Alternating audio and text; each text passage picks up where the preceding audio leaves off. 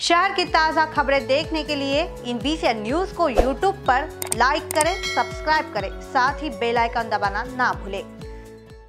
शहर के हुड़केश्वर परिसर स्थित तुलसी डेयरी में सोमवार की शाम में अचानक आग लग गई, जिससे डेयरी मालिक का लाखों का नुकसान हुआ है। यह आग किस तरह लगी, इसका पता अभी तक नहीं चल पाया है, लेकिन डेयरी मालक सुधीर पांडे, इन्हें लाखों का नुकसान हुआ है। इस आग में डेयरी का माल जलकर पूरी तरह से खाक हो चुका है।